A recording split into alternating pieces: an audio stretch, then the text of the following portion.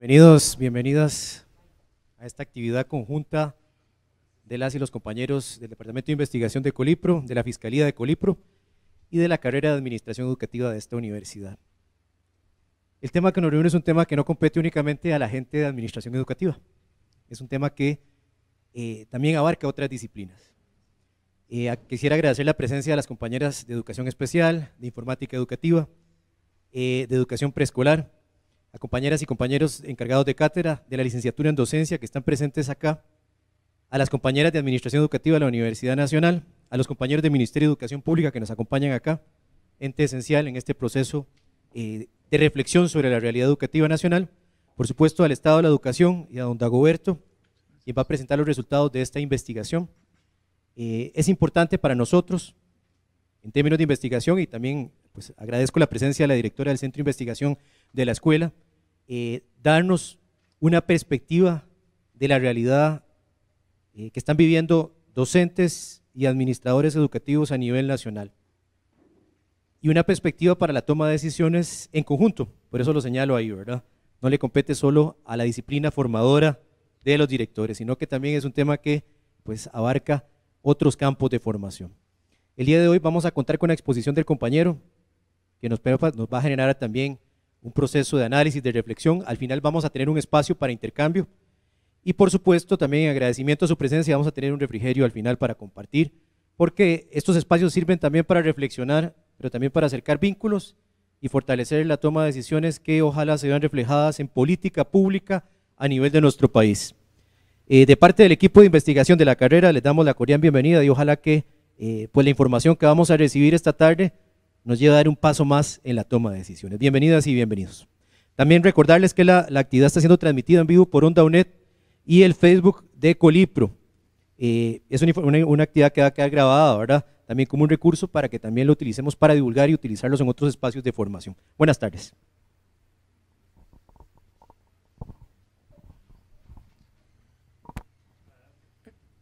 Buenas tardes.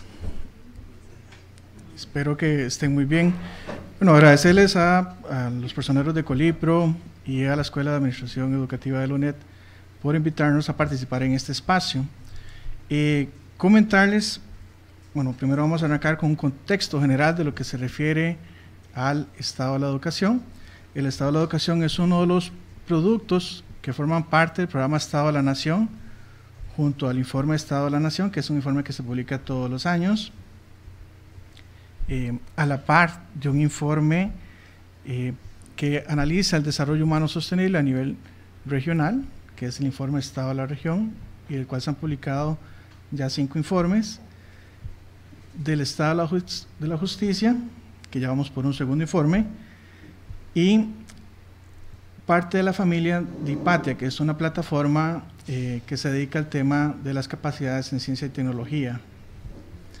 Entonces, eh, reseñar que el Estado de la Educación tiene como una finalidad eh, dar una visión propositiva que ayude a las autoridades, a los docentes, a los directores y a los estudiantes, así como a organizaciones gremiales y sociales, a pares de familia, a la toma de decisiones. Entonces, eh, la idea aquí es dar un panorama con el cual nosotros podamos plantear recomendaciones de mejora.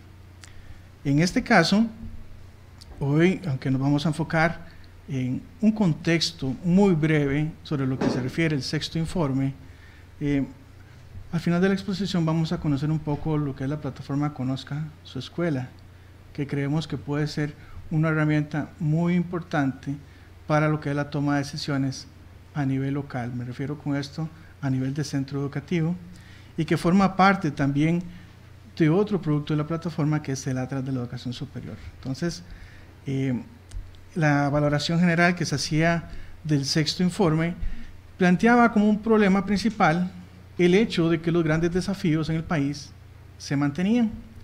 Y con estos grandes desafíos señalábamos que los indicadores se movían de manera muy lenta, de manera inercial, y que incluso habían algunos que empezaban a mostrar algún grado de retroceso. Entonces aquí, para ejemplificar este tema, eh, habíamos señalado que no teníamos cambios abruptos en la evolución de las coberturas.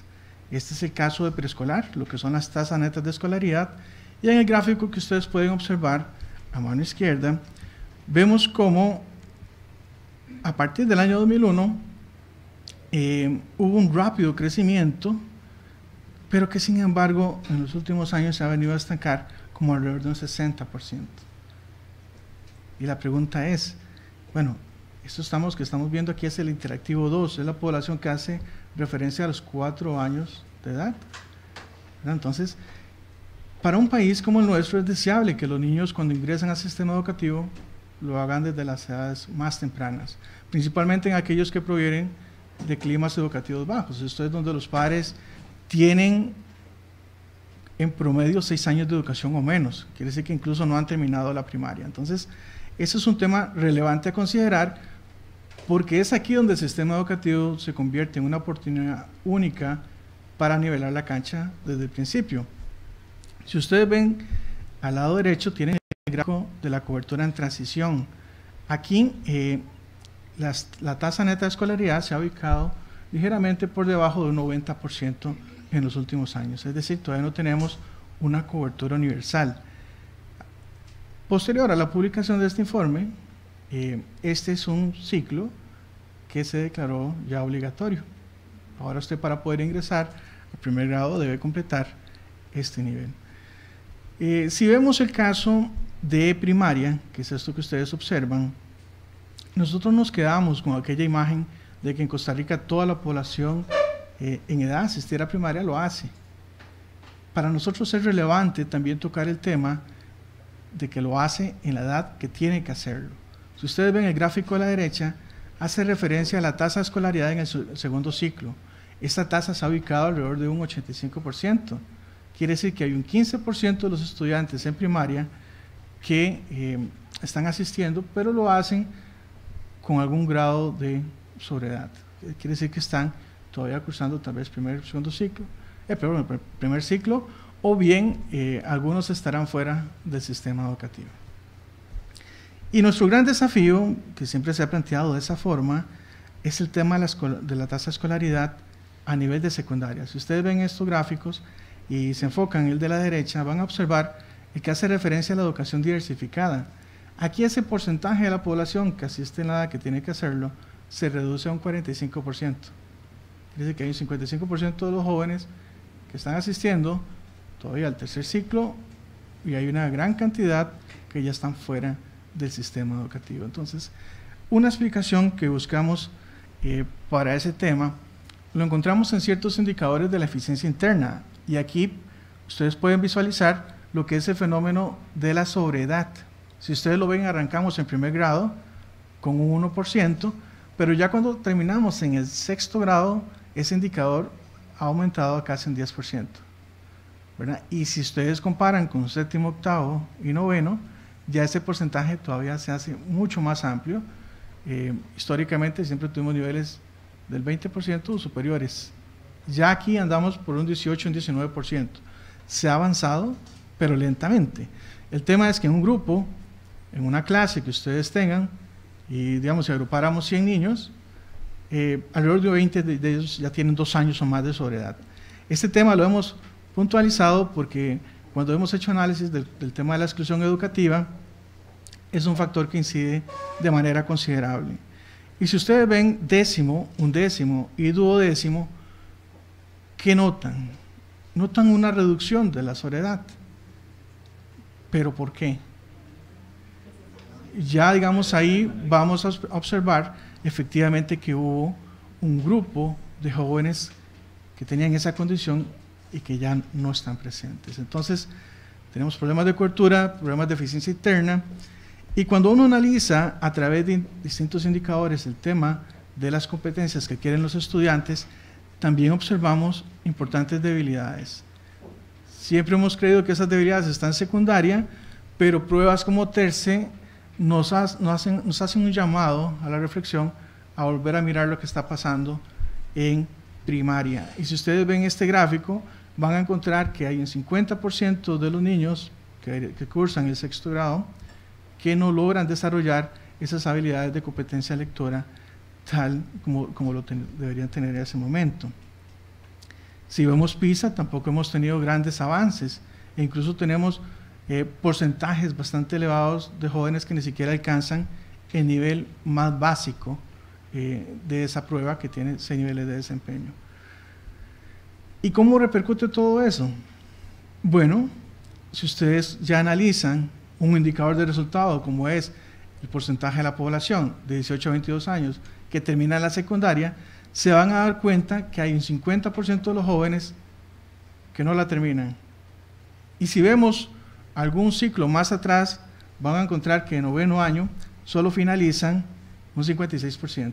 Entonces, ahí tenemos todavía mucho que solventar. ¿Y por qué quiero dar ese contexto? Porque si ustedes lo ven, en el plano internacional, ya venimos haciendo mucho de lo que se nos pide.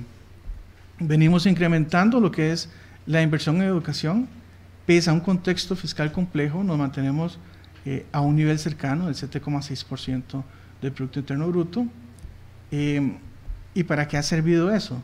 Bueno, por ahí se mejoraron las condiciones salariales de los docentes, pero también hay otros rubros, por ejemplo, la inversión en incentivos para estudiar, que crecieron de manera importante. Si ustedes ven en ese gráfico, hay todo un tema de becas y avancemos que en los últimos años casi que se cuadriplicó. Entonces, ahí tenemos un crecimiento importante, tenemos un crecimiento importante también en el programa de comedores escolares, que si uno hubiese un mapa a nivel nacional, se daría cuenta que hay una cobertura bastante amplia, casi universal a nivel de primaria, y en secundaria una cobertura que aunque el programa está más focalizado a personas de bajos ingresos, eh, le llega a muchos, a muchos estudiantes. Eh, en este sexto informe también se hizo todo un perfil socioeconómico de esos estudiantes becarios. Y se encontraba, por ejemplo, que una cuarta parte de los alumnos pobres o vulnerables manifestaban eh, que asisten al comedor escolar. Entonces, hemos venido haciendo cosas bien. Eh, si yo les planteo a ustedes el tema de la titulación docente, si eso es un problema, ¿qué me dirán? Cuando uno analiza el, el tema de la titulación, uno encuentra que hay un 95% de los docentes que se encuentra titulado. Si nos comparamos con otros países de la región, eso es un porcentaje eh, bastante alto y nos, ofrece como toda una base, digamos, de docentes que ya tienen algún tipo de formación en mediación pedagógica. Ahora, que esa formación sea buena o mala es otro tema, pero ya no le podemos pedir más titulación a los docentes porque ya están titulados. Entonces es un tema que si ustedes lo ven a nivel regional, pasa por el hecho de que son pocas las direcciones regionales que tienen que solventar en esa línea. Entre ellos, por ejemplo, la región Sulá, que es este puntito que ustedes ubican por acá. Pero ellos tienen una condición muy particular, que es que los nombramientos de los docentes también pasan por una asociación indígena, ¿verdad? Entonces, eh, ya veremos más adelante. Bueno, titulación docente, hemos insistido, del Estado de la Educación no es sinónimo de calidad, tampoco es una garantía de que el docente que llega eh, lo va a hacer de la mejor manera. Pero a nivel nacional, insisto, tenemos buenos indicadores. Otro tema en el cual eh, se profundizó es en el tema de las reformas curriculares. Si nosotros observamos el panorama hace 10 años, se hablaba de que algunos programas de estudio estaban ya desactualizados. Y aquí se vino haciendo todo un proceso de reforma eh, que si ustedes lo ven, abarca todos los niveles y se ha hecho en bastantes disciplinas. Insisto, hemos incrementado inversión, tenemos una amplia, eh, un amplio porcentaje de docentes titulados y tenemos eh, una profundización de las reformas curriculares. Pero aquí se genera toda una paradoja y es porque, pese a eso, no tenemos los avances que queremos si hemos, si hemos hecho lo que a nivel internacional se nos pide. Y una respuesta a eso es que ya históricamente hemos trabajado sin conocer bien lo que ocurre en las aulas. Ya desde informes anteriores se manifestaba todo el tema de hacer una intervención en áreas específicas. De era no pensar en aquella reforma integral que viniera como a cambiar todo, sino de ir pensando en cuáles son esos pequeños nudos que podemos ir rompiendo para lograr eh, mayores avances. Uno de esos era mejorar espacios para la convivencia y aquí me voy a remontar a los datos arrojados de informes anteriores. Aquí se hacía una consulta a los docentes, eh, perdón, a los estudiantes de secundaria y se indagaba sobre el tema de la calidad. O sea, qué criterios eran los que ellos tomaban en consideración para definir calidad. Si ustedes pueden ver ahí en las imágenes, eso eran fotografías de algunos de los colegios que se visitaron. Y la respuesta que daban muchos de ellos era una definición que apelaba a mínimos, decíamos en aquel momento.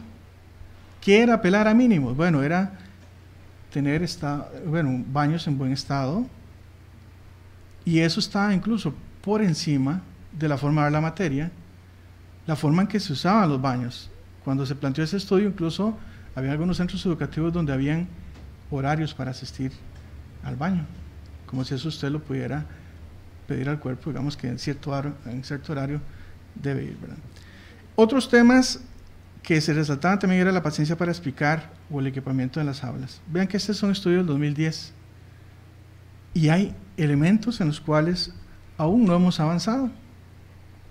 Seguimos dándole un poco eh, de análisis a ese tema de los espacios de convivencia y nos dábamos cuenta que seguimos haciendo política de infraestructura sin tener una evaluación real de la infraestructura. Si ustedes se dan cuenta, todavía a estas alturas no existe el Censo Nacional de Infraestructura que arroje información sobre dónde están las principales debilidades a nivel país. Junto a PRODUS, el Programa de Desarrollo Urbano Sostenible de la Universidad de Costa Rica, se había hecho una serie de criterios que ustedes son los que observan en esta lámina sobre elementos que eran importantes desde el punto de vista de la gestión de la infraestructura. Así como se encontraban en aquel momento colegios donde ese estado era realmente caótico, eh, también había ciertos elementos o criterios, por ejemplo, patio cubierto, salón multiuso o gimnasio, donde en términos generales los centros educativos tenían una mala infraestructura. Había otro tema también que no solo está con respecto a la disponibilidad de cierto espacio o no, sino del uso que se hace. Por ejemplo, esta fue imagen, esta fotografía dio bastante vueltas, era sobre el Liceo del Sur. Yo espero que ya a estas alturas se hayan generado algunos cambios, pero en aquel momento, de todo ese espacio disponible, y ustedes lo ven aquí, los estudiantes manifestaban que esto era un espacio prohibido. Pese a contar eh, con un área, una capacidad locativa amplia en, en, esto que observamos aquí sombreado, era un área que a los, docentes, a los estudiantes no se les permitía acceder. Habían otras áreas que ellos observaban con potencial, pero también, y aquí es para reflexionar, desde la misma visión de los estudiantes, habían espacios que ellos consideraban inseguros. Por ejemplo, acá, en estas zonas, habían diferentes tipos de inseguridades, algunas incluso relacionadas con el tema de drogas. Pero entonces, si yo les planteo hoy, bueno, la labor de un gestor de un centro educativo, ¿en qué tiene que estar enfocado? Yo diría, bueno, la infraestructura es un tema importante, pero no debe ser el único.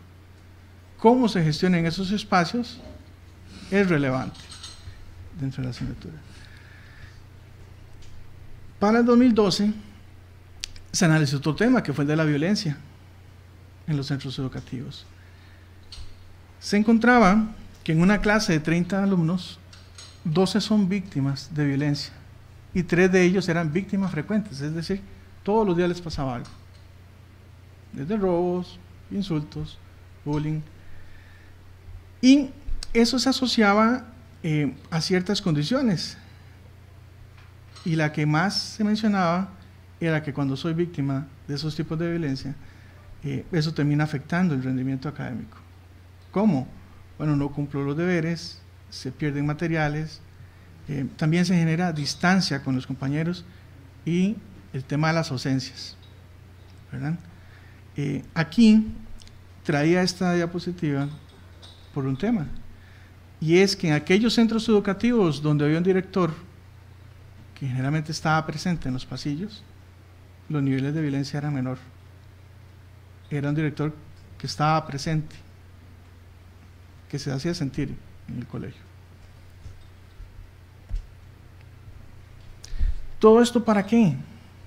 Cuando fuimos analizando todos estos temas de ambientes de aprendizaje, finalmente tocamos con un techo y era que para seguir avanzando requeríamos ver justamente lo que pasaba en las, aulas. Y eso es un tema que eh, se abordó en este informe como una primera versión y partía del supuesto de que el rendimiento académico no puede solo explicarse a partir del origen social y las características personales, sino que también hay otras cosas que entran en juego.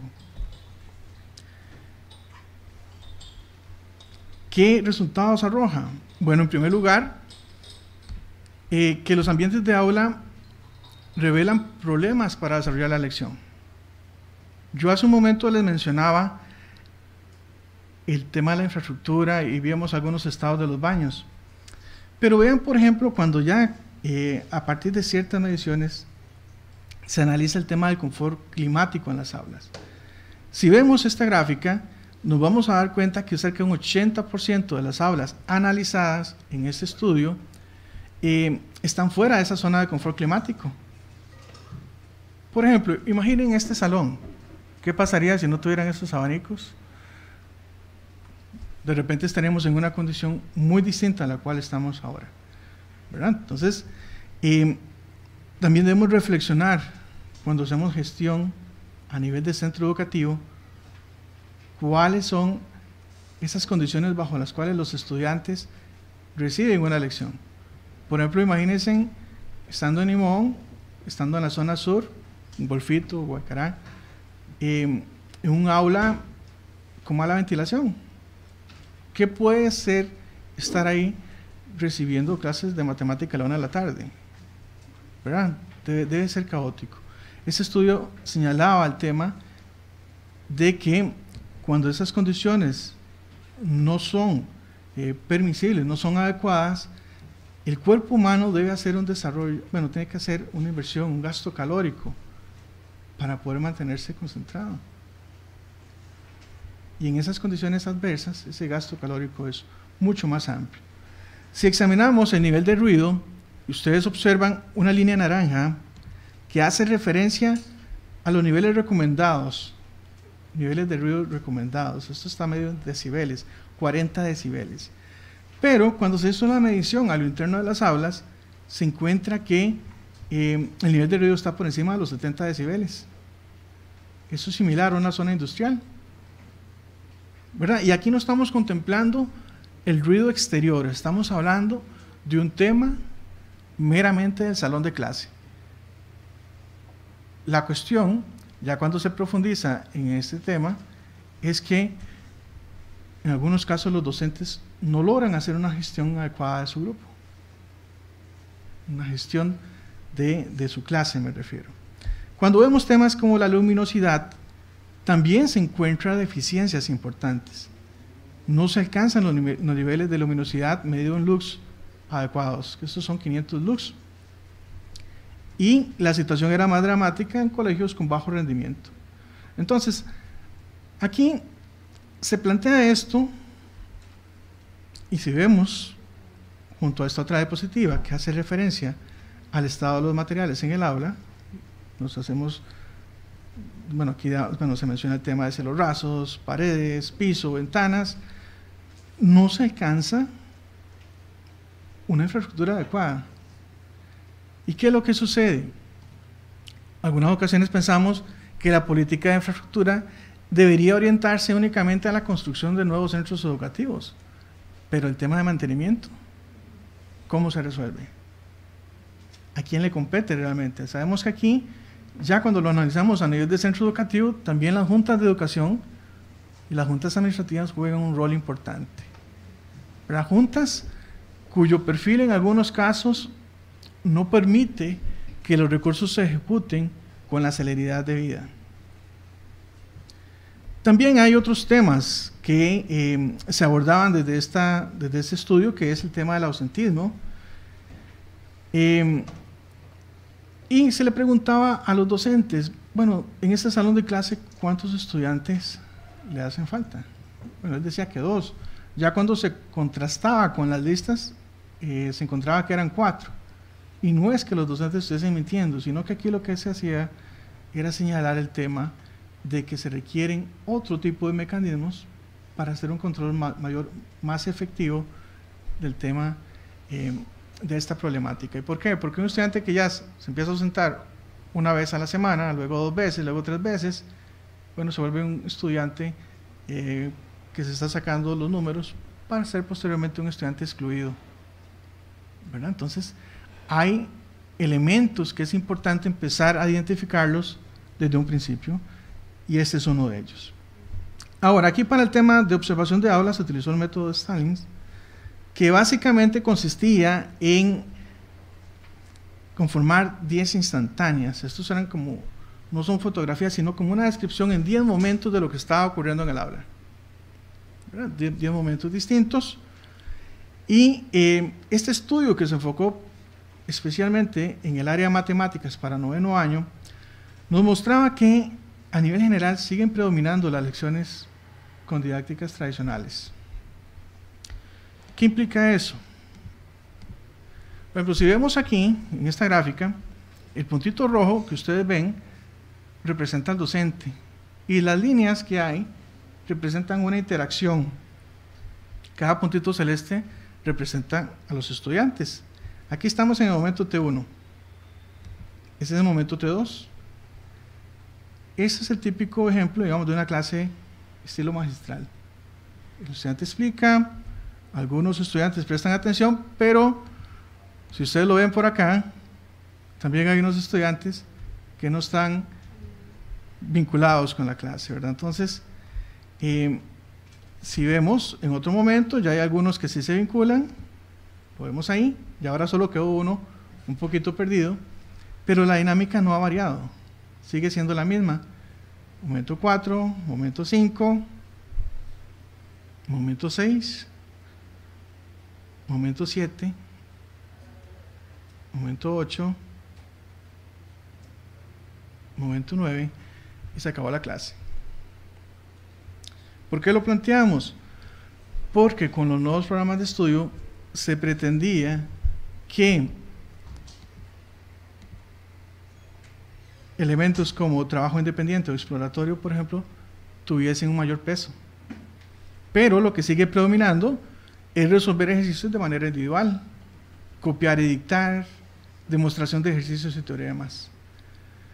Sí debemos de ser claros que no estamos haciendo una crítica per se al tema de la clase magistral, porque no se logró medir la calidad de esa interacción. De repente era una interacción buena, pero si nos vamos con los nuevos planteamientos, vamos a encontrar que mucho de eso que se proponía no se estaba logrando. Entonces tenemos clases didácticas tradicionales y poco participativas. ¿Qué es lo que uno esperaría?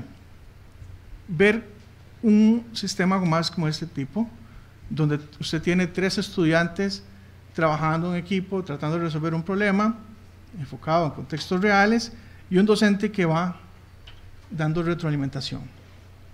Entonces, ese es un tema que en ese estudio no se evidenciaba. El otro tema, que tiene que ver también con un elemento de la gestión, si ustedes se van dando cuenta, vamos tocando diversas aristas, es con la gestión del tiempo. Por ejemplo, todos los cuadritos que ustedes ven aquí representan una lección. Y estas en color celeste representan las lecciones invertidas en actividades extracurriculares. Esas, en color gris oscuro, son las lecciones perdidas por temas de impuntualidad. En ese gris más claro, eh, es tiempo perdido en clase. Ya les decía, eh, en aquellos salones donde se observó que los, niveles de decibeles eran muy altos, era porque no se estaba haciendo una gestión adecuada. Hay temas de gestión, por ejemplo, que arrancan desde que inicia la lección. Llegó el docente, y el grupo no lo logró ordenar pasados 10 minutos, 15 minutos y todavía el grupo sigue desordenado. Entonces hay muchos muchos temas ahí que tienen que ver con esa gestión del manejo de clases. Eh, hay otro tema en el cual se invierte en lecciones, que es en los exámenes y congresos. Pero cuando uno hace el balance, realmente se da cuenta que las lecciones efectivas llegan a cerca de un 50%. Ese es el tema que, eh, que está saliendo a partir de estos estudios. A nivel general, eh, las actividades académicas se recomiendan que representen un 80% del trabajo en clase. En Costa Rica andamos por un 59%, muy lejos de ese parámetro. Entonces, ¿qué arroja ese estudio? Que los ambientes de aula revelan problemas para desarrollar la lección. ¿Y por qué lo traigo? Porque de acuerdo a nuestra estructura, ¿cuál es la labor de un gestor en un centro educativo, de un director? ¿A quién le competen las visitas al salón de clases? Eso es para que lo vayamos teniendo como en el radar, ¿verdad? Como para luego reflexionar sobre esos temas. y esto porque más adelante, ya lo vamos a ver, hay una fuerte demanda de parte de los docentes de un mayor acompañamiento académico. Entonces, ¿será el director esa figura que tiene que dar ese acompañamiento académico? Ese es un tema sobre el cual podemos conversar. Y ese es el tema que, al cual voy. Director como líder académico. Para la versión del 2011, eh, en el informe se reseñaba esta cita. Un centro educativo exitoso requiere un liderazgo visionario y con un alto sentido de pertenencia. Y esto surgía a raíz de diversos análisis que se habían hecho sobre el tema de las culturas de gestión. Ven qué importante lo que se señalaba en el año 2010, y era que había poco acceso a información y a espacios para discutir y proponer planes de mejora en los centros educativos. Por ejemplo, aquí los tres rubros que se presentan en esta gráfica hacen referencia al uso de resultados anteriores para la planeación futura. La pregunta es, todos los insumos que, que, se generan, por ejemplo, a partir de la Dirección de Gestión y Evaluación de la Calidad, son utilizados realmente dentro del centro educativo para una planeación futura, para hacer planes remediales, ¿Por qué? Y, si la, respuesta es no, ¿por qué no se está haciendo? Vean, había más, o casi un 60% de los docentes eh, entrevistados en aquel momento, que señalaban que nunca se generan espacios comunes para discutir y proponer acciones de mejora. Había un alto porcentaje de docentes que indicaban eso. Tampoco se generan espacios comunes para analizar resultados. El tema es, ocho años después, ¿esa situación habrá cambiado? ¿Haremos hecho algo distinto para que la situación sea diferente hoy? ¿O estamos todavía estancados bajo esa tónica donde el trabajo del día a día se come la existencia de esos espacios para discutir dentro de los centros educativos? Otro reto que se lanzaba en aquel momento para con el director era reconocer que se enfrentan a una comunidad estudiantil que es diversa. No están frente a un solo tipo de estudiante. En aquel momento se hablaba de la necesidad de generar estrategias diferenciadas de atención. ¿Por qué? Porque a veces se planteaba que habían colegios problemáticos, pero se encontraba que el clima de ese colegio lo imponían 11 estudiantes. ¿verdad? El resto de los estudiantes estaban fuera, digamos, de ser problemáticos, pero ya el sentimiento común era que esos 11 estudiantes hacían que el colegio se volviera mucho más desordenado. Ese estudio se realizó en el 2010 también y hacía una tipología de estudiantes, entre los que estaban estudiantes que quería que se exigiera académicamente, algunos que llegaban con un perfil de escuela, que es como un perfil de compréndeme, que buscan tener un docente chineador y que cuando llegan al colegio ya, ya esa estructura se perdió completamente. Hay otros que buscaban como mayor orientación, pero hay un grupo como más retador que era ese de intimídeme. Pero, al igual que la comunidad educativa es, es, es diferente, también hay diversidad dentro de la comunidad docente. Ese estudio arrojaba, por ejemplo, que cerca de un 60% de los docentes era un perfil de un docente que se siente presionado. Ven ustedes, un 24% está comprometido y había un 17% que era desapegado. Pero ¿qué características son? O sea, no quiero decir que esto se lo van a encontrar ustedes tal cual en su centro, pero sí van a reconocer algunas características que aquí se mencionan. Por ejemplo, en el caso de los presionados, eran docentes que perciben gran cantidad de actividades adicionales a sus lecciones. O sea, son eh, docentes que generalmente se ven recargados por el programa académico y que señalan que realmente tienen poco tiempo para, para enseñarlo. Es el típico docente que te dice, no, ese programa no lo logro yo cubrir en el tiempo previsto. Y tienden a creer que un buen profesor regala puntos. Esos son algunos rasgos de estos docentes que son presionados. Ahora, los desapegados reconocen recargo de programas, pero a diferencia de los otros no se ven debordados. No se sienten amenazados por ambientes inseguros, robos y asaltos, ni por falta de libertad para realizar sus labores. No creen que las aulas malas desmotiven, piensan que los más enterados sobre los alumnos son los auxiliares. ¿Quién debe estar enterado de los alumnos? Pregunto yo. ¿Serán los auxiliares? ¿Serán los docentes? Los comprometidos consideran que hay una buena relación entre el personal del colegio, no sienten que el programa académico esté recargado, concuerdan en que un director ausente convierte al colegio en tierra de nadie, pero adicionalmente no creen que un buen profesor regale puntos. Estas son características de estos docentes comprometidos. El tema es, ¿por qué reflexionar sobre estos tipos de docentes? Como directores de un centro, ¿qué buscarían ustedes? ¿Tener docentes comprometidos, desapegados o desbordados? Uno, bueno, yo creo que la respuesta sería obvia, uno quiere docentes comprometidos.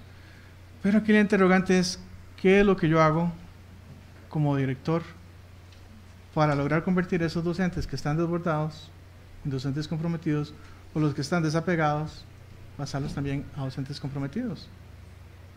¿Qué hago yo? ¿Cuál es mi estilo de liderazgo dentro del centro? Entonces, hay, muchos temas sobre los cuales se puede reflexionar. ¿Y por qué eso es importante? Porque cuando hemos analizado factores asociados a la exclusión, mucho más importante que la ayuda del gobierno en la tenencia de bienes, por ejemplo, había un elemento que uno pensaría que de política pública no es tan caro, y es el tema de la satisfacción con el apoyo docente. Un estudiante que siente apoyo de parte de sus docentes tiene incentivos para permanecer en el centro educativo. Por ejemplo, nos comentaban en otros casos, en otros estudios, que en algunos casos los chicos decían, bueno, es que el profesor llega a mi clase y nunca nos saluda, llega directo, se coloca sobre la pizarra y empieza a escribir. Nunca se aprendió nuestros nombres. Elementos como esos, que uno dirá, bueno, eh, vieras que son bien importantes cuando para abordar un tema como la exclusión se refiere. Entonces son elementos que hay que reconsiderarlos. Otra ala que se analizó dentro de este informe tiene que ver más con la gestión de los recursos humanos. Y aquí hay una parte que compete directamente al Ministerio de Educación como organizador del sistema educativo y tiene que ver con la asignación de recursos como incentivos y recargos. El análisis evidencia que hay una gestión que está cargada hacia el operativo, meramente hacia el operativo. Y ahora más adelante les voy a comentar por qué es que traemos a colación este tema. Si ustedes ven en esta gráfica, van a decir, bueno, pero ¿qué es eso? Bueno, eso es un diagrama que nos muestra, en color negrito, están todos los actores que tienen que ver con un tema de asignación de recargos. Y lo que ven en colores celestes son precisamente los recargos. Entonces, Por ejemplo, cuando uno analiza, ese, todo eso tiene que ver, todos esos recarguitos en colores azules tienen que ver o pasan por la gestión del director. ¿Cuántos tipos de recargo ven ahí? Montones. Entonces, no podemos considerar que este es un tema aislado de la gestión del centro. La pregunta es, ¿cuántos docentes que aspiran a ser directores reciben una inducción para abordar todo este tema de los recargos? Administrativamente, a nivel de ministerio, hay algunos de estos que se empiezan a gestar desde octubre para que el nombramiento esté listo en febrero con la consecuente eh, de que eso lleva eh, una carga operativa enorme en diferentes departamentos del ministerio. ¿Qué quiero decir con eso? Bueno, la solicitud nace a partir del director. El director envía una nómina a un departamento, ese departamento verifica que todos los docentes que están en esa nómina cumplan con los requisitos, pasa a otro departamento, se ve el tema presupuestario, se da un visto bueno, luego pasa a otro departamento, que es donde efectivamente se ejecuta la asignación. Eso es un caso típico de los recargos. Ahora, hay otros departamentos dentro del ministerio, por ejemplo, servicios educativos, vean ustedes,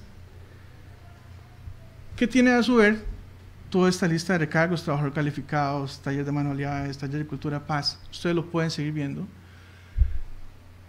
Y la pregunta es, ¿dónde queda el tema de la planificación? Aquí el tipo de control que se hace es únicamente verificando, haciendo un checklist de que se cumplan requisitos. Pero les aseguro que en este momento no hay instrumentos de gestión para saber si esos recargos que se asignaron se están ejecutando de la mejor manera. Ya se dio un avance y es que los recargos se van a asignar a través de concurso. Pero anteriormente era el director el que decía cuál docente que iba a tener cierto recargo. Alrededor de esta compleja estructura, nosotros encontramos que hay un 49% de los directores que afirma que la cantidad de trámites y papelería que se da para aprobar recargos es excesiva. Les decía, Muchos también refieren al tema de que nunca se le dio algún tipo de inducción al respecto. Ahora, cuando empezamos a ver ya en un tema más de gestión, que era como lo que nos trae acá, eh, según los docentes se requiere un mayor liderazgo del director en la gestión de procesos pedagógicos, pero cuando vemos el tema de la autopercepción del director, des en cuenta que hay un 72,5% de ellos que dice que su gestión es buena o muy buena. Hay una autopercepción muy alta. Ellos creen que lo que están haciendo está bien. Hay un 30%, un 28% que es más crítico y dice, bueno, mi labor es media, todavía tengo áreas que mejorar. Pero vean ustedes, por ejemplo, la comparación con la valoración que hacen los docentes de primaria y los docentes de secundaria. La barrita del centro hace referencia a la oración que hacen los docentes de primaria. Ese porcentaje del 73% baja un 57%. Y en el caso de los docentes de secundaria baja un 41,6%. ¿Qué aspectos son los que están inmersos en esa autoevaluación? Bueno, nosotros aquí contemplamos seis ejes centrales. Primero, el tema de espacios y mecanismos de organización para y participación para la toma de decisiones. Recuerdan unas diapositivas atrás que los mismos docentes decían que no se abrían esos espacios. Vea el caso del director, él opina que sí, que sí se abren ese tipo de espacios. Eh, en el tema de gestión de los recursos financieros, materiales, de tiempo y recursos humanos, bueno, su valoración no es tan positiva, anda como alrededor de un 4, pero aún así sigue siendo alta. En el tema de estrategias y mecanismos de transparencia y rendición de cuentas, también tiene una valoración bastante alta. Espacios para trabajo colaborativo, formación continua, alrededor de un 4. Procesos pedagógicos a través del acompañamiento sistemático a los docentes, también alrededor de un 4. Y el elemento que sí resaltaron como una mayor debilidad desde su punto de vista de autopercepción es el tema de una gestión basada en instrumentos sobre la base de metas de aprendizaje. Creo que todos estamos claros en que a los directores les sigue costando justamente construir esos instrumentos de gestión, ¿no?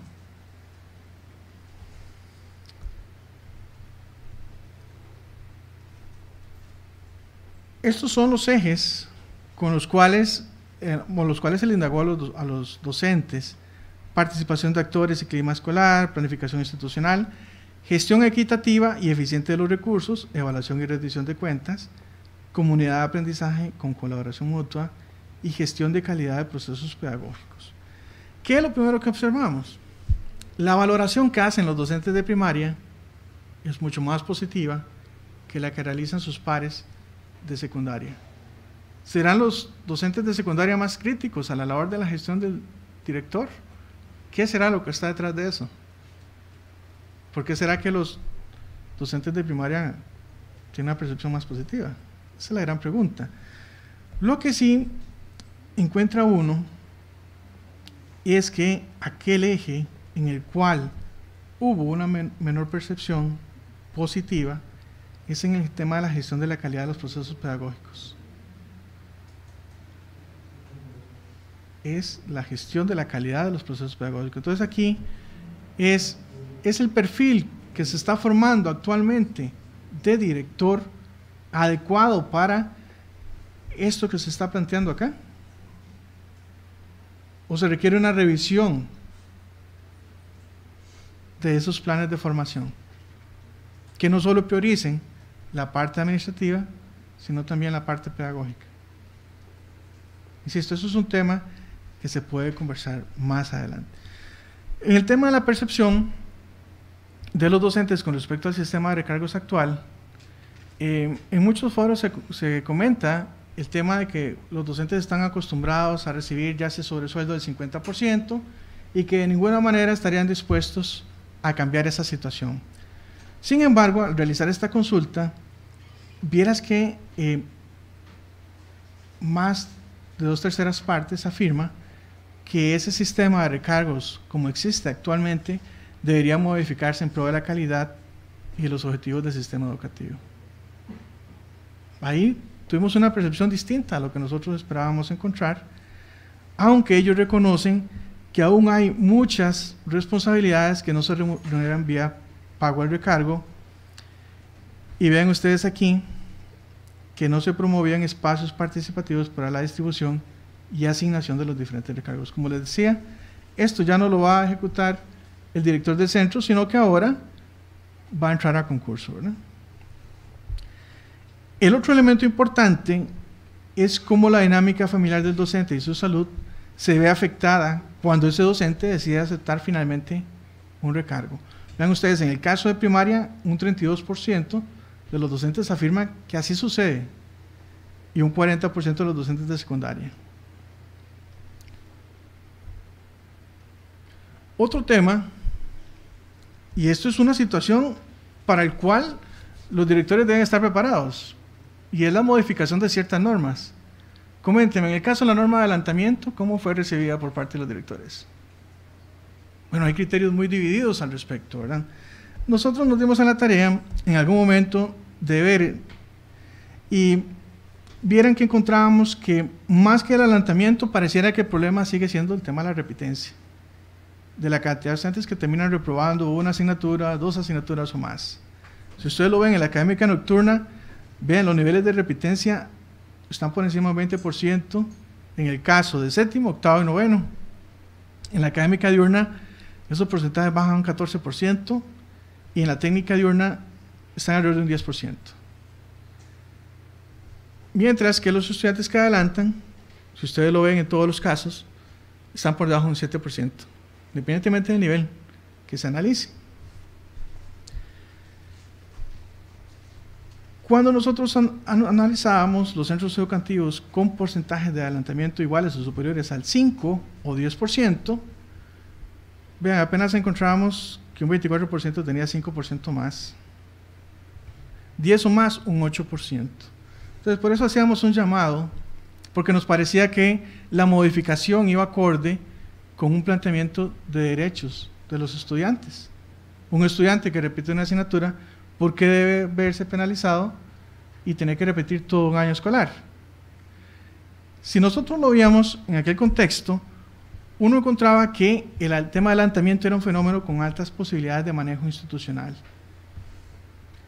Si ustedes ven, aquí se agrupa un 75% de los centros. Esto que está, este cuadrito rojo que ustedes ven aquí, que tienen menos de un 5% de estudiantes que adelantan. Y algunos, eh, la cantidad que adelantan, si ustedes lo ven, a partir de este nivel son 20 o menos. Yo no creo que 20 estudiantes que adelanten debiera representar una gran dificultad a nivel de un centro educativo. Dependerá de las condiciones, obviamente, pero a nivel general no debería ser una gran dificultad. Ahora, aquí viene la consulta a los, a los directores. Se les preguntaba si las estrategias de tipo administrativo que se han realizado en este centro educativo han sido efectivas para atender a la población que adelanta. Vean, hay un 50% que dice estar de acuerdo con eso.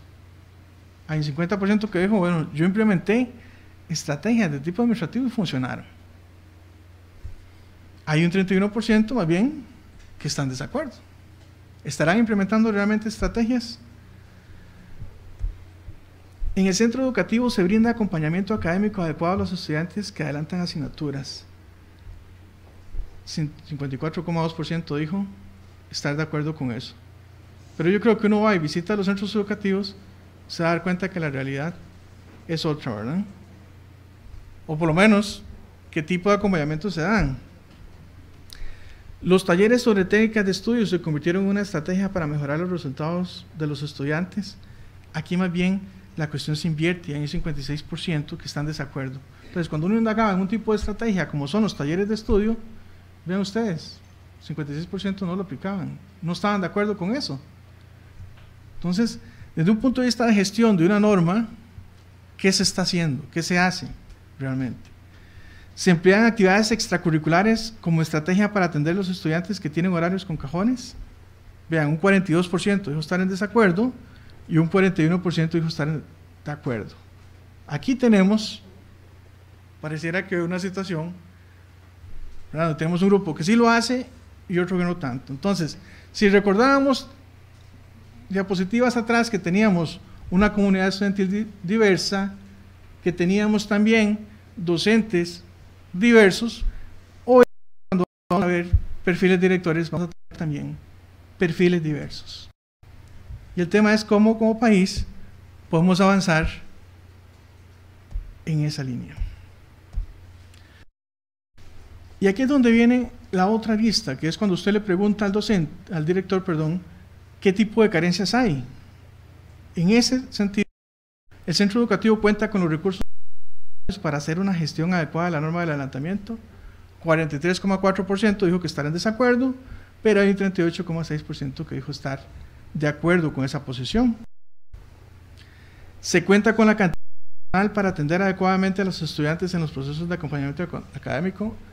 Ya la desacuerdo con ese planteamiento. No se tiene la cantidad de personal para poder realizarlo. El centro educativo cuenta con la infraestructura necesaria para... Vean aquí ya el porcentaje va en incremento. Ya ese que está en desacuerdo es un 63%. entonces aquí hay áreas en las cuales debemos prestar atención. Y esta, que a mi nivel personal me parece importante, el personal administrativo y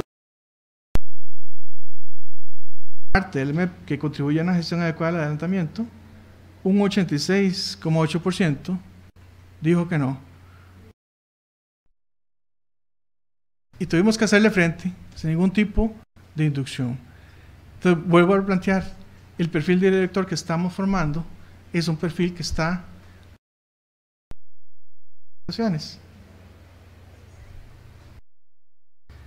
Ahora, el MEP ha brindado apoyo para gestionar la norma de adelantamiento en este centro educativo. 79% están en desacuerdo con esa afirmación. Ahora, cuando uno indaga su tiempo, dicen que dedican casi un 20%, un 17% a atender los diferentes, diferentes requerimientos de la administración central o regional. Eso les consume casi la quinta parte de su tiempo. Luego dicen que un 12% de su tiempo lo dedican a supervisar el mantenimiento de la infraestructura educativa, la contratación y el tema del presupuesto. Eh, un 11% al desarrollo de proyectos educativos y adaptaciones del currículo, a tareas de supervisión, evaluación y orientación de los profesores. Y ahí sigue. El tema es que si usted va y les pregunta, les va a decir, el tema administrativo nos tiene absorbidos completamente. Y así se lo han externado en algunos otros foros. Y nos dicen, bueno, yo, yo tengo a cargo tantas secciones. Tengo que ver por el tema del presupuesto, tengo que ver por el tema de infraestructura, tengo que observar. Te plantean. Entonces ahí viene nuevamente un tema de balance. Balance entre el tiempo que tiene que orientar em, a sus distintas labores. Nosotros señalábamos que hay consecuencias de no aprovechar ventajas potenciales. Y ahí hablábamos del tema de la conectividad que es limitada en los centros educativos. Entonces se han dado iniciativas para ir haciendo algunos procesos ya más em, desde un punto de vista de uso de TICs, pero nos enfrentamos con esta triste realidad, que es que muchos de los centros siguen operando con 5 megabytes o menos. Ese es uno de los puntos. El otro es que los directores tienen un uso básico de las TICs, tanto en lo laboral como en lo personal. Si ustedes indagan a los directores, se van a encontrar que ellos hacen un uso de las computadoras muy básico, pese a que al principio digamos que la titulación no era un problema, en los directores tampoco. Ellos tienen altas titulaciones profesionales donde predominan licenciaturas y maestrías. Tienen una alta experiencia laboral, acceso a Internet en el hogar, en el centro educativo, ya sea vía computadora o a través del teléfono. Pero, cuando usted indaga, ¿para qué utilizan las computadoras? Bueno, para imprimir documentos, almacenar información en dispositivos USB, para buscar en Internet información de su interés, pasar fotografías o videos digitales, crear cuentas de correo. A nivel de gestión, bueno, realizar trámites como solicitud de permiso, nombramientos de docentes y eh, trámites que tienen que ver con la participación del centro educativo en distintos eventos. Un uso básico. Pero la mayoría de los directores y directores docentes dijo nunca haber creado páginas web, ni utilizado recursos libres de Internet, ni publicado en la web recursos o productos de su propia autoría, que eso ya involucra un uso más avanzado. La mitad reportó nunca haber utilizado software libre o haber utilizado la web para acceder a ciertos servicios y, poco más de la, de la mitad de los docentes indicó que nunca había participado en foros, blogs, wikis o otros recursos virtuales, por ejemplo. Y esto, creo que hoy ya la realidad es distinta. Esto es la implementación del sistema, del SIGSE, del expediente electrónico, y nos mostraba que en las distintas direcciones regionales había un uso bastante diferenciado. Había algunas como Desamparados y San José Norte, donde el 66% de los centros educativos lo estaban implementando, pero había otras como Zarapiquí, Aguirre, Cañas, Sula y Peninsular, donde ese porcentaje era inferior a un 25%. Entonces, ahí nos estaba haciendo uso de estas herramientas que se han venido creando para mejorar el tema de la gestión. Eh, con este informe se, se pretendía llamar la atención sobre cuatro aspectos centrales. Primero, que cambiar lo que pasa en las aulas es clave, que debemos mejorar la calidad profesional docente, o sea, a nivel de formación todavía tenemos grandes desafíos, migrar hacia una gestión de por resultados centrada en los aprendizajes, donde el sujeto principal sea el estudiante, no el docente ni el director, así como fortalecer mecanismos de evaluación y transparencia de la educación superior. Entonces, por eso se hacía un llamado abrir la puerta, ver el aula y mejorar lo que ahí sucede. Y si ustedes ven en la imagen que está en ese teléfono, dice que la mejora en la educación no depende de las grandes políticas, sino de cambiar lo que ocurre en las aulas. De mi parte, lo dejaría por ahí. No sé cómo estamos de tiempo.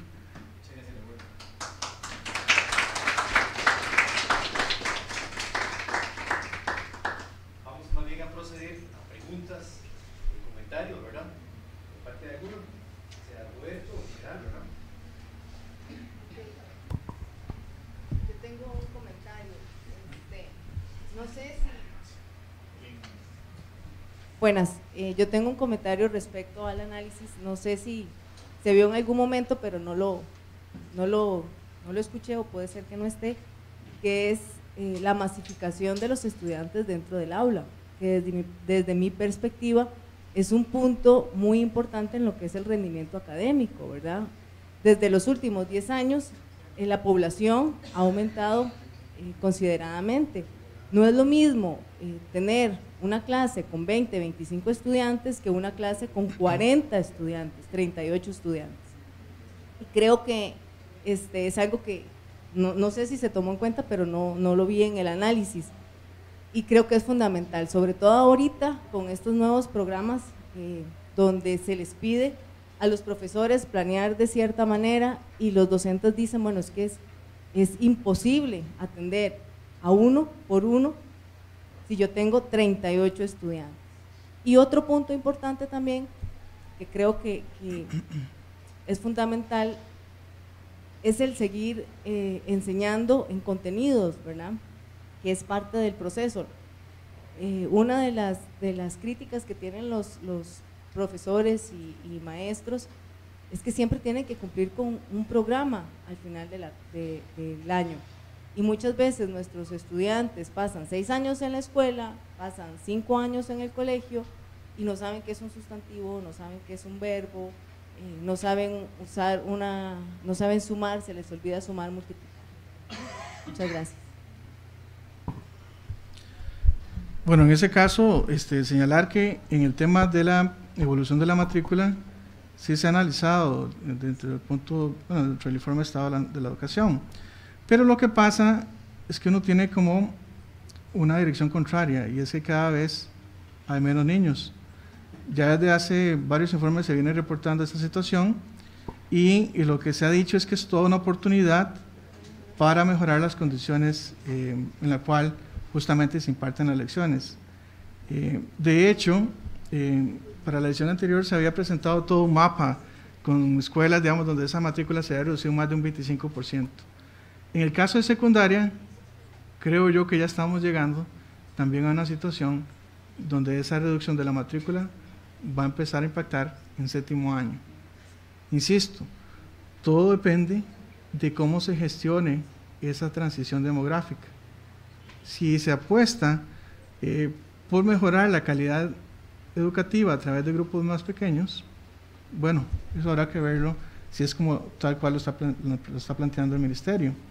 Sí sé que ellos, en este contexto, en el caso de primaria, están apuntando hacia la creación de nuevas escuelas de horario ampliado, porque si ustedes analizan a nivel nacional, solo el 5% de las escuelas ofrecen el currículo completo. Entonces las demás han estado trabajando siempre bajo el tema de la doble jornada, incluso hace unos años habían escuelas con triple jornada, que eso repercutía luego en jornadas más cortas, menos lecciones y menos calidad de aprendizajes. Entonces, yo, yo lo veo al contrario, veo que las tendencias más bien apuntan ahora a una reducción de la matrícula, no a un crecimiento, y sí uno esperaría que hayan grupos más pequeños. Ahora, esas tendencias demográficas no se ven por igual en todas las direcciones regionales. Habrá centros donde sí eh, todavía esas tendencias no se ven de esa manera. Por ejemplo, en Guanacaste sabemos que todavía la matrícula no se ha reducido tanto como se ha ocurrido dentro del gran área metropolitana. Pero eso también está muy relacionado con cómo el mismo director gestiona el tamaño de los grupos a lo interno de su centro educativo. Que de la mano con la presentación que nos han hecho eh, es indiscutible la importancia y la necesidad de poder conocer esos ambientes de aula, ¿verdad? Poder hacer gestiones desde cada uno de nuestros, de nuestros trabajos diarios que nos permitan ese acercamiento con la realidad, ¿verdad? Tal y como lo mencionaban, poder tener conocimiento de esa realidad contextualizada para, para trabajar en, función de, de esto. Eh, por otro lado, poder realizar un análisis profundo de esa formación de perfil de, de, director, ¿verdad? Que se están dando desde las diferentes instancias educativas que permitan este, reorientar, ¿verdad? Cada una de las acciones que hacen eh, estos en, sus direcciones. Por otro lado, eh, el cambio de cultura y paradigma de gestión que ustedes igualmente apuntaban, ¿verdad? Que es un requerimiento eh, muy importante y que va de la mano con acciones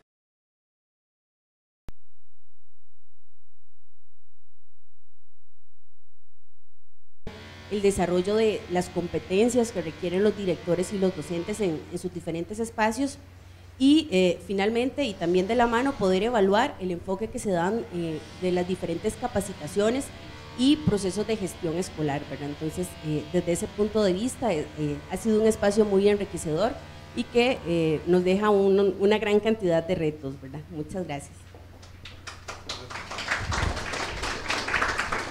Gracias a Rocío. Uno, uno. Para finalizar, le damos las, las palabras de de despedida que nos va a facilitar la fiscal del Colegio Profesional, doña Nacira Morales.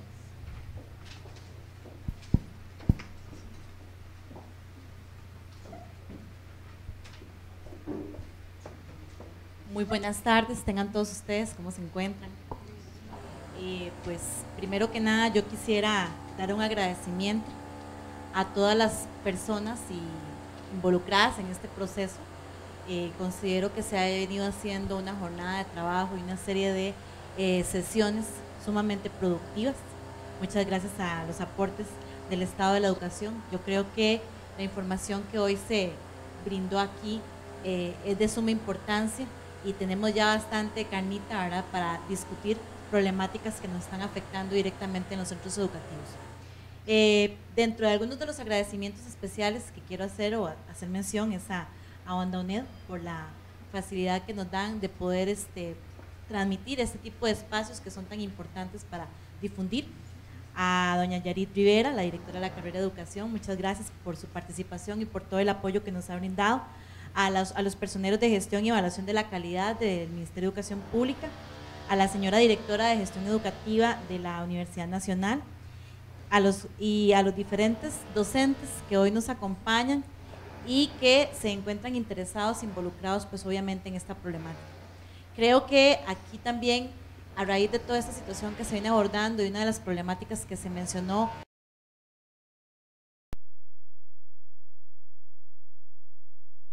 los centros educativos, creo que también es muy importante que empecemos a retomar, y creo que es una sugerencia que hago también, este, del papel de los coordinadores académicos en los centros educativos porque eh, muchas de las cosas que se han ido relegando o que se les ha, se les ha adjudicado como el, segundo eh, asistente de dirección al mando, ¿verdad? es justamente el coordinador académico. Es una figura que se ha perdido, que se ha diluido en los centros educativos y que debe rescatarse como un apoyo valioso en, la, en, en coadyuvar y en darle seguimiento a todo lo que tiene que ver con el con el planeamiento, con el, con el planeamiento de aula, con el trabajo que está haciendo en, el aula, con las metodologías que se están implementando en el aula, que creo que es también muy importante y que es el papel inicial para el que este, esta figura fue creada y que se ha descuidado muchísimo. Entonces es otro reto importante que debemos tener dentro de este proceso. E igualmente, pues, tenemos ya eh, una serie de eh, insumos, creo que Ah, por acá ya lo dijeron, es importante que empecemos a generar propuestas y que empecemos a llevar una serie de este, pronunciamientos o cartas abiertas que nos permitan a raíz de todo este proceso y de toda esta jornada de trabajo poder este, como instituciones como instituciones este, vinculadas con los procesos educativos y con el proceso propiamente de este, los centros educativos en temas de administración, poderlos llevar o poder hacer en algún momento un foro de discusión con las autoridades pertinentes para poder pasar ya a una siguiente fase donde podamos ser proponentes de los resultados que hemos obtenido en todas estas jornadas. Darle mi agradecimiento por estar acá y el Colegio de Licenciados y Profesores se siente sumamente complacido.